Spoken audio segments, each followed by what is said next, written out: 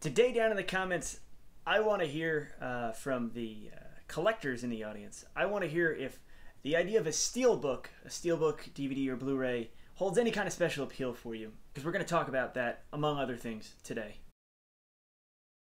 Hello, I'm Adam Cesare. I am the author of Clown in a Cornfield and several other books that you can go buy uh, in hardcover, paperback, uh, ebook, and audiobook if you like listening to books. You can go get those right now and you can review them. You can tell all your friends about them. I'm Adam Cesare, and this is Project Black T shirt, the YouTube channel where I take uh, a horror movie or multiple horror movies and then pair them with a piece of horror fiction you will enjoy reading if you like those movies. Be sure to like, subscribe, and go check out the other videos on my channel if you like what you're seeing here.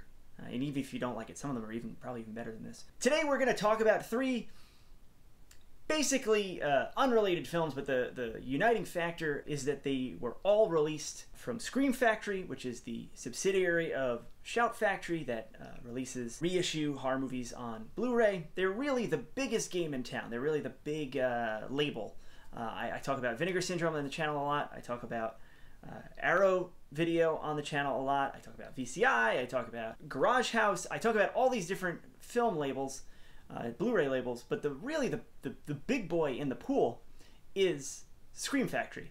And I don't talk about their movies as much as those other ones, and it's partly because they are the big boy in the pool and they do release the bigger titles and they are that's that's what everyone kind of that's what dominates the conversation in horror fandom. Those movies and those titles probably don't really need me talking about them. Uh, although, like as you can tell from my shelves, I do get a lot of these releases and I do enjoy a lot of these releases. I just don't talk about them as much. Today we're going to talk about three separate films, and the reason that I'm pairing them uh, all together is that I watched them somewhat recently because they all came in a box together. When I get stuff from Scream Factory, I usually time what I want, getting what I want around sales because they do uh, a huge kind of direct sales business, and they, the, the best time to buy their movies is when they're having one or more different items on sale and then you can combine them for free shipping and that's what i did uh, recently they had a steelbook sale. Hence the question at the top of the video they had a, uh, a steelbook sale. And all their steelbooks which are usually like these luxe exorbitantly priced editions that i probably wouldn't uh, touch uh, they were on sale. And uh, very specifically this bad boy was on sale. They've started reissuing a lot of the Roger Corman produced films that they did Blu-ray releases of previously. This is years ago when the label was kind of in its infancy when they were doing these uh, Corman cult classics lines um, on DVD and Blu-ray. They've started reissuing them as these really pretty uh, steelbooks, and I say really pretty where I'm not usually like a sucker for packaging. I, I own very few steelbooks because they are expensive, and I because I'm not a collector on that level where I really like need, want, have to have them.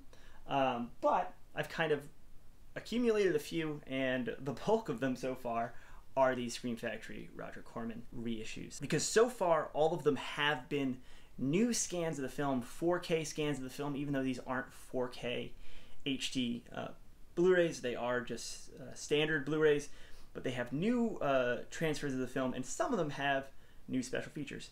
Um, and if you can see that right above me, I have a, a, signed Piranha press kit up there, signed by director Joe Dante and uh, star Dick Miller. I'm a bit of a Roger Corman fan. He's really kind of uh, one of the few people in the film industry I would like you know, you don't want to put anyone you don't really know on a pedestal because it's like you just enjoy their work. But I see him as like this kind of mythic, heroic figure in a certain way in the way he approached the film business and making films. Uh, and I, I, find him endlessly fascinating. So I've, I've, read a ton of, I've read his bi- autobiographies, I've read uh, biographies of him, I've seen documentaries of him. Corman's World is a pretty good one that I think Shout Factory themselves even put out. Uh, I, have read books strictly on his New World Pictures venture. He is a fascinating figure to me, and if I were going to kind of collect one thing in these steelbooks, uh, I figured it would be the work of Roger Corman. I don't really know much in the way of like what fans think of Piranha of 1978's Piranha, which is uh, very clearly a Jaws uh, riff, a Jaws ripoff. but it is done with such uh, care and nuance and uh, Corman energy in that he gave Joe Dante right after uh, co-directing with Alan Arkush. He, he they co-directed a movie called Hollywood Boulevard, which if you're if you're familiar with it, is almost like a, uh, a clip show movie because they were they were Alan Arkush and, and, and Joe Dante were were two of Corman's most prolific trailer editors. They were they were cutting trailers for all these movies as as they were coming in, and they were making these really well performing trailers for Corman. Uh, he kind of started them out with Hollywood Boulevard, which is which reconstitutes a lot of uh, footage from other Corman pictures. Uh, kind of the bigger the bigger special effects and stuff like that are all uh, reused, uh, and then they, they they weave this little um, kind of uh, raunchy comedy around those sequences. Hollywood Boulevard's really great. I really like it. I think Code Red put it out. No, it's not Code Red. It's Scorpion Releasing put it out. I really like Hollywood Boulevard, uh, but I think the first, the first real Joe Dante movie, the first solo Joe Dante movie is Piranha, and I have such a special affinity for this film. Uh, ever since kind of the, the, the days of VHS rental, I really really enjoyed this film. Time period, it has a kind of almost melting pot aspect to it, where it feels like uh, it feels like a, like a rural adventure movie. It's got even like it's got even car chases in it. It's got like a kind of Smokey and the Bandit kind of car chase in it. Uh, it feels like it's got a camp in it, so it feels kind of like it's got like a meatballs type um, vibe to it. It's got when animals attack. It's got um, cool stop motion animation critters in, in one sequence, so it, so it has like it's not just an when animals attack. It's also uh, government uh, conspiracy and government uh, experiment kind of horror. The setting's really great. Uh, it's got a lot of kind of you'd call it stunt casting now, but it's just got a lot of familiar faces that pop up. Barbara Steele plays a quick role. Dick Miller, Kevin McCarthy from the Invasion of Body Snatchers, Paul Bartel, who who who was in Hollywood Boulevard and would continue being in these the Corman pictures. It's got that kind of almost hangout movie vibe to it, where uh, I've seen it so many times now, and I've and I've enjoyed it so many times, and enjoyed it in so many different parts of my life, like as a child, uh, as a high schooler, as you know a, a, a movie guy in like in college and beyond. There was recently a Twitter meme that was like name your comfort horror movies or name your comfort movies and piranha is really really really one of those pictures for me it's also not really urbane to this to this release but it's also a, a, film franchise that I think is incredibly underrated because I think Piranha 2: The Spawning. I think I might have even talked about that on the uh, on the channel before. I really, really uh, like Piranha 2. Uh, I think it is uh, incredibly underrated, even though it doesn't have that Cormanness to it. It, it replaces it with like wacky Italianness and James Cameronness. Uh, and then the uh, the remake, the Alexandre Aja uh, remake, which is quasi remake, quasi reboot, quasi not really related to the original film. Um, but I, I, I love that movie. It's a, it's a great theatrical experience. I really enjoy that film. Uh, the only one I'm not I'm not super crazy about is the is the fourth one, um, the um, the John Gulager one. Uh, just because it feels a little too mean and cynical uh, and overly jokey to me. Um, but you can't win them all. I, I, like this. I like this film series. Uh, this ports over all the other special features that were on the Corman Classics discs. Uh, but the reason I was I was even intrigued and wanted to pull the trigger, and I'm not a double dipper. I don't do that a lot. Um, I'll probably run a giveaway for the the last disc on my Twitter or something like that. But the reason I wanted this is it has a it, it's not only the new transfer, which looks gorgeous. The movie looks brand new. The greens really pop. It's got a, it's it's a it's a lush kind of woodsy movie, and I really love that aspect of it. The only new feature on here is a newly recorded. Um, they call it a commentary, but it's really just an audio interview uh, with uh, Corman. It's Justin Beahm, uh, who does a lot of the uh, Shout Factory special features, having a really long, uh, in-depth conversation uh, with Roger Corman. This it was recorded. It must have been recorded right around um, Dick Miller's death. So they kind of open with that. They talk about the, his relationship with Dick Miller, his working relationship, and then it goes back um, and and becomes almost like an like a 90-minute biography of Corman, where he talks about um, his father being an engineer, all this different stuff, uh, and it's it's almost like uh, almost barely a commentary, almost barely about Piranha itself, but mostly about Corman and his career. It's a really nice commentary, uh, a wonderful testament to uh, Corman's career and the beginning of Joe Dante's career. Uh, if you've never seen Piranha, I highly, highly, highly recommend picking it up. It's great. The next movie that came in that box that I wanted to talk about that I uh, just uh, recently rewatched. These are all actually rewatches. Doesn't typically happen a whole lot because I don't r- compulsively rewatch things. Um, I, I, generally rewatch things when enough distance has, has, has come from their release and I don't remember them anymore. Uh, that's that's the case of The Hills Run Red. Uh, this is a film by Dave Parker, who also who's kind of uh, cut his bones in uh, Full Moon features and had co-directed and directed uh, a bunch of Full Moon movies, including The Dead Hate the Living. Um, I think he even started kind of like uh, Joe Dante. I think he even started uh, cutting trailers and special features uh, and video zones for Charlie Band. So there's oh there's that connection. That's that's the that's the the Dave Parker is the is the Joe Dante of Full Moon. But this was a movie that was released straight to video. You may you may remember this this cover, which is very clearly at least the font is meant to evoke the Hills Have Eyes remake, even though the movie's nothing like that. Uh, it was just kind of a marketing gimmick. Uh, and you may remember this cover, but it, it was 2009. It says on the back, and that that tracks. Uh, I kind of remember this from either I guess uh, sometime in college uh, or or maybe right before college. I don't know. I, I don't know how old I am, what year anything was. It's a blur. But I remember I, I got this film when it came out, when it came out on DVD, went straight to video. Um, a very interesting era, a very interesting epoch in uh, horror movies because there were a lot of these straight to video movies, and some of them were some of them were like Anchor Bay and uh, Dark Sky and and and and the kind of lower budgeted companies, not the big mega corporation companies. Uh, but the Hills Run Red is interesting because it's it's one of the grossest, darkest, meanest ones, and uh, it's actually Warner Brothers. Warner Brothers made this movie. Warner Brothers put up the money for this movie. Uh, Warner Brothers, along with Dark Castle Entertainment, this was the this was a, a short-lived Dark Castle home entertainment attempt uh, Warner Premiere was the, the label that put this out. They were the straight to video arm of uh, Warner, and it didn't begin life that way, but it, it became that. Uh, I remember liking it. I remember kind of enjoying it and not not thinking uh, overly much about it. Just being like kind of surprised when the, when it whenever I watched it. I, I, think like maybe freshman year of college. I just remember being like, wow, this is this is a, a well made, expensive looking movie for a straight to video, straight to DVD movie. Because around the time, there really were good movies coming out uh, straight to DVD, and you you never really knew. It wasn't quite like you know the the decades before. It wasn't quite like the straight to video movies where you could get completely screwed. Uh, picking something up and having it be terrible and, ter- and, and, and, cheap and bad uh, because there was so much stuff coming out kind of straight to video, straight to VHS.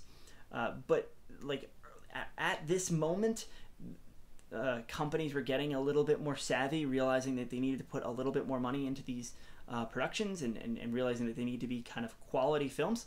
Uh, and that's what Hills, Hills Run Red was. It's it, You watch it now, um, 11 years later, I guess, more, uh, and you're just surprised. Like, this would be kind of a theatrical release now. This would be kind of one of those um, premiere VOD movies that everyone's talking about because we're so starved for entertainment. And when something hits either Netflix or Vudu, um, kind of first weekend or the, you know the drive-in movie theaters right now, we all talk about it and it all becomes kind of the, the movie conversation of the moment. But I guess maybe just I was out of the conversation. Maybe that happened when this movie came out, but um, I didn't have much of a conversation. I just kind of saw it, remember getting the DVD, liking it, and then just kind of moving on. This Blu-ray is a really great chance to reappraise this movie, and it and and uh, I don't know 100% what it was. I don't know if it's, if it's the prominent feature and, and, and kind of scenery, scenery chewing performance of uh, William Sadler right after watching Bill and Ted Face the Music uh, this this week, uh, but something about The Hills Run Red really struck me this second time. Um, this Blu-ray, it, it, it, looks gorgeous. It like the movie looks even like better than I remember it. It's just as mean as I remember, but not quite as um, downbeat and cynical as I kind of thought it was. I remember it just being super gross and me kind of a little bit recoiling at that because uh, it felt a little try hard. That that didn't um, that actually didn't happen this time. And I and I, I there's um, there's some nice character work and there's just a lot of it ladles so many ideas and it's like it's like an hour and 20 minutes and when you look at the special features and you listen to the director Dave Parker and uh, the writer David J. Schow uh, talk about it, uh, you know why it's only an hour and 21 minutes because it was kind of really cut down and they cut a lot of the uh, WB kind of t- took a lot of the, the, the more extreme stuff out of here. But you watch the film now, or at least I watch the film now, and you hear Parker kind of be ambivalent about those cuts and, and, and what was left out of the film. but uh, I watch the movie now and I really do wonder, like, maybe this is, maybe this is like the version I would prefer. Uh, it's it, it's movie's just mean enough. Um, I think any more and it might be too mean, and it and it and it moves. He he he he kind of in these retrospective features he kind of talks about how he feels the pacing's a little uh, wonky or uh, he seems like his he seems like uh, his own worst critic on these um, on these special features, which in, in some ways you want a, an artist to, to be that. Um, but I was very much surprised by this movie. I was very much surprised on the rewatch how much I really like took a shine to it. How much I really really enjoyed this film. I'm sure I have I've talked about the movie enough, um, and mo- a lot of people um, when I talk about movies, the first thing they ask me, "What's it about?" Uh, I never think about films that way. So you're probably screaming at uh, YouTube, being like, "Why don't you just tell us a synopsis?" So this is this is about a, a, a film fan who wants to find a legendary film called The Hills Run Red that only ran for there were only a couple showings of the movie drive-ins and stuff like that.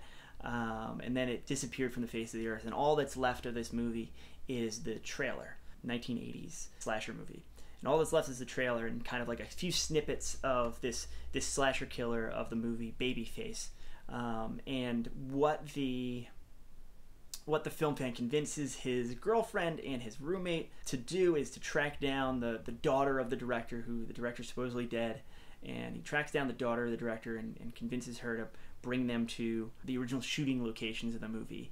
It's really convoluted. It's it's it's it, there's there is there is like a season and a half of television plot in the 80 minutes of The Hills Run Red, and that's that's a feature, not a bug. Uh, I I think it, it's there's a lot going on. Just when you start to think this doesn't make any sense, the movie will introduce a twist that does put a certain kind of logic, or at least an internal logic, on the sequences that you've already seen, and and, and you're you're into it. Uh, at least I am. I was like leaning forward because uh, I'd forgotten. I'd forgotten everything that happened in the last 30 minutes of this movie. I know it's only been 11 years, but geez, what what an 11 years they must have been because I couldn't remember a damn thing from the ending of this movie. It was delightful. I, I really really really enjoyed it. If you're a fan of this film, or if you or if you feel like this is something you'd like, this disc is like if you if you look at the list of features, all the new, new, new, new, new, new. There's um, I guess it was pretty bare bones when Warner originally put this uh, DVD out, especially since they kind of didn't treat uh, Parker. Uh, overly well, it doesn't sound like, uh, but the the Scream Factory's kind of given him a second at bat to do all these uh, special features. I've only, I've only watched like I've watched like an hour of them, but there's a lot, lot more uh, discussion of this movie on here. There's like there's like what are there? There's like two commentary tracks or three commentary tracks. It's ridiculous.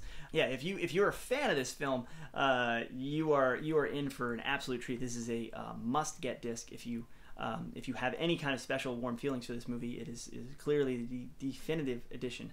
Um, and if you haven't uh, seen it, if it, if it kind of eluded you, kind of don't judge a book by its cover because I this is this was this was marketed as a Hills Have Eyes ripoff, and then it was it was even self marketed by Parker and others involved with it as like as like a slasher, uh, like a like a throwback slasher, which is it's neither of those things. It's really not. It's it's it's more of a um, it's more of like a weird uh, meta, but not too meta, not overly referential discussion of film fandom and like creativity and uh, the idea of being a completionist and an aficionado and how far you'll go to seek out the movies that we talk about on this channel and the movies that we enjoy. And it's, it is, you know, there's there's moments that clunk. There's there's there's there's uh, dialogue and performances that I I, I wasn't hundred percent vibing with all the time, but the the overall ideas of the movie are much smarter than the kind of first blush. Uh,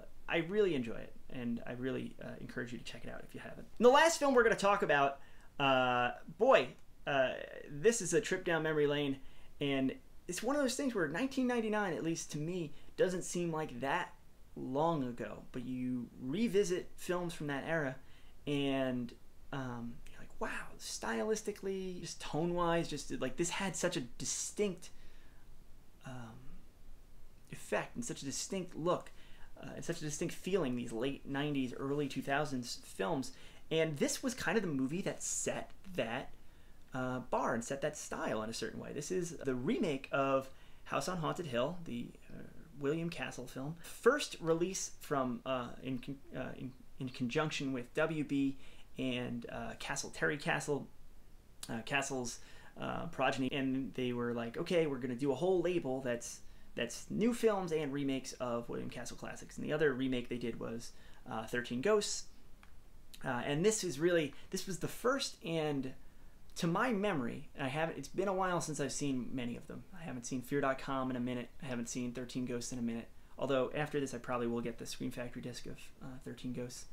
I haven't seen the House of Wax uh, remake in a minute, which wasn't a William Castle film, but was a Dark Castle film, and I really, I, I remember really liking that movie. But um, this is the this for my money was the best one, and it holds up uh, on rewatch. This is House on Haunted Hill. Um, Geoffrey Rush is playing a um, styled after uh, the Vincent Price character in the original, not just in character, but in, in content, in like look. He has like his little stick on uh, pencil thin mustache. He's uh, chewing scenery here. He seems like he's having uh, the best time an Oscar winner's ever had in like a paycheck picture. Um, Taye Diggs, Famke Janssen, uh, never never once been able to say her name right. Peter Gallagher and uh, SNL's own Chris Kattan, actually in a somewhat nuanced, restrained role. This is this is uh, you know the plot of House on Haunted Hill. It's people uh, are invited to a party by a kind of rich, notorious trickster who hates his wife, and they're uh, they're there, and he says you're going to win a million dollars if you can stay the night for the for the party.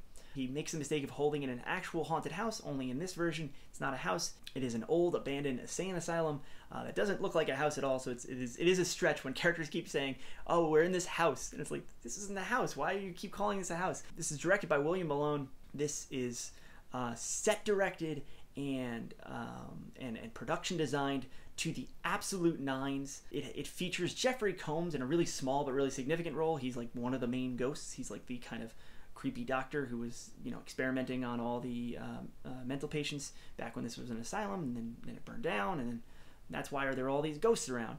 Uh, but it's just such a good mix of, of scares and laughs and uh, really really really uh, inventive uh, gore and uh, character design is like is this is like people think of the 90s they, they always they always do that like oh it was you know the years of the pg-13 and, and maybe that was true in the, the mid 90s. Uh, but this is not a teen thriller. This is a full-blooded uh, R-rated horror movie where um, you know it's K and B effects. It's it's it's Robert Kurtzman. It's Howard Berger.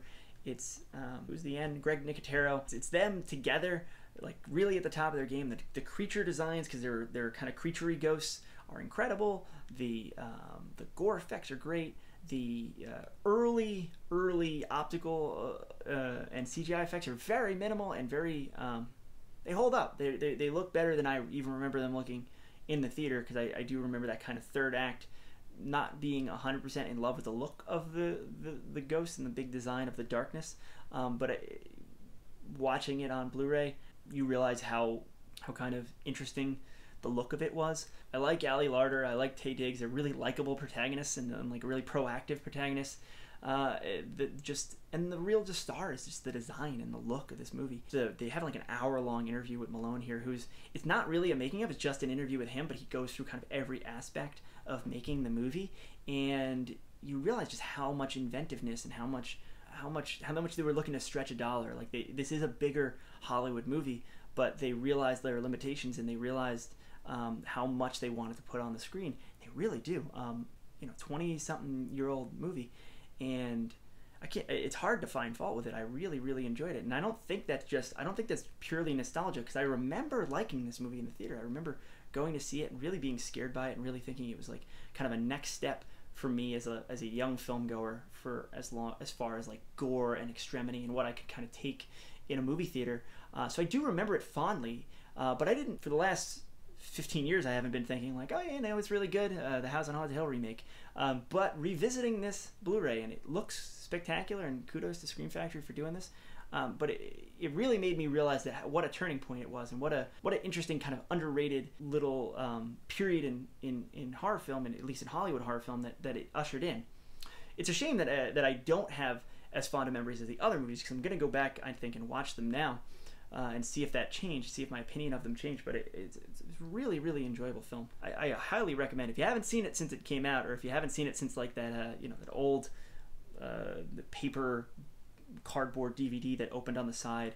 I, recommend checking it out. It's really good. For this week's book recommendation, just came out yesterday. I just started reading it uh, last night. He's the man, the myth, the legend. We talk about him on this channel all the time. We've talked about him more than any other any other author we probably recommended on this channel. But Stephen Graham Jones's new novella, Night of the Mannequins. Uh, just came out. Quick read. I'm like I'm already most of the way through it, so I can talk to you about how good it is. Um, but it's one of those things where he's becoming one of those authors where uh, I would be absolutely shocked if I were if I were underwhelmed by anything he, he puts out. And the fact that this came out, what like it was like what four months ago, less than that, that uh, that Only Good Indians came out, his his his latest novel. The fact that you could have that amount of quality in in in that span of time is is insane to me. um, uh, this is a this is a um, this is a kind of slasher uh, it begins with a with a prank gone horribly wrong uh, with teenagers at a movie theater uh, involving a mannequin that they've kind of that they've kind of adopted as their like uh, teen group mascot because they like they found it and they they, they disassemble it and they bring it all over. It's uh, it's surprising and it's funny and it's weird and it's very Jonesian in its construction. It has one of the best first sentences I've ever read. Uh, it's it's uh, you know highest recommendation, especially uh, especially if you've read Only Good Indians. Uh, but if you haven't read that one yet, it's like still recent enough that it can be also another book recommendation. Uh, that's my favorite book of the year. It's awesome. It's so good. Uh, check them check them out. Check both of these out. And and, and Night of the Mannequins really fits with the, the type of movies we were talking about here. It's a it's a it's a kind of on brand, on theme recommendation. You'll you'll see when I when you read it because it does have that kind of feeling of it's talking about movies. It's it's, it's movie theater. It's it's it's teenagers. It's it's it's very very much of a piece with these movies we're talking about. Also, I'm sure, sure you're tired of me uh, talking about it, but I'm not. I'm, I'm not. Uh, thank you so much to everyone who has bought uh, Clown in the Cornfield. Uh, look at that, Ooh, beautiful. Uh, these, these beautiful blurbs on the back too. It's, it's incredible. Uh, this the hardcover looks so good, and from what I can tell, from what limited knowledge I have and Harper has given me, it's selling well. So thank you, thank you, thank you, thank you so much. Um, people have been Instagramming and reviewing it on Goodreads and Amazon and Barnes and Noble and going into their Barnes and Nobles and taking pictures of it on the shelves and sending them to me. Um, it is it is an, uh, one of the great highlights of my life uh, this last week. So thank you so much to everyone who's picked it up, everyone who's picked up the audiobook uh, narrated by Jesse Vilinsky. It's really good. Um, enjoy it. When you're done with it, make sure to um, rate it. The Audible app like comes up and asks you to rate it. Just just just rate it, please. It helps us out so much. Helps me and the narrator Jesse Vilinsky out. Um, the ebook, the just it's, it's and this just gorgeous hardcover. I'm so proud of this book. Uh, I'm so um, proud that in, in a in a world awash with killer clowns, um, Frendo the clown and his midwestern murder is um, is resonating with people and it's just it's just a real joy. So thank you so much to everyone who's picked one up, uh, or is going to pick one up, or has told their friends to pick one up. Thank you, thank you, thank you. I uh, can't thank you enough. That is it. That's this week. Uh, like, subscribe, follow me, Instagram, Twitter, uh, all that stuff. If, if you want to uh, get in touch, I will be down in the comments as I always am. And uh, links to everything we talked about are down in the comments too if you want to go pick those up. but yeah, I'm Adam Cesare, and I'll see you next week.